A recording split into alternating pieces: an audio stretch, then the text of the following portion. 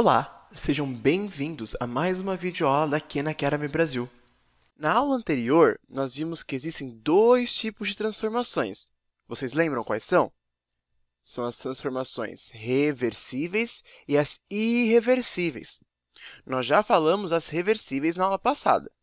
Então, nessa aula, estaremos falando das irreversíveis, que, se vocês não lembram, eu vou refrescar a memória de vocês. As irreversíveis são aquelas que não podem ser desfeitas, mas as reversíveis são aquelas que podem ser desfeitas.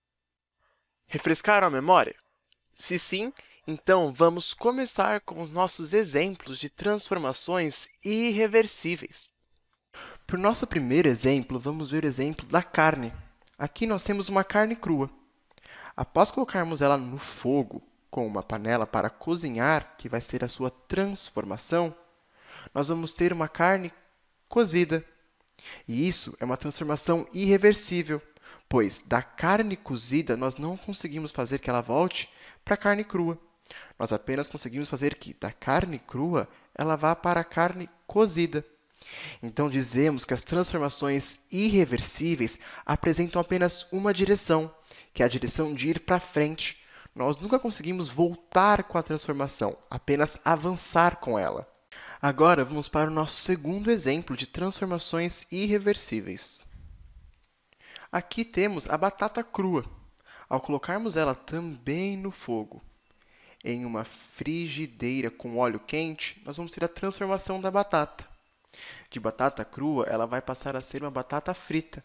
E isso também é uma transformação irreversível, porque de batata frita nós não conseguimos fazer com que ela volte a ser batata crua.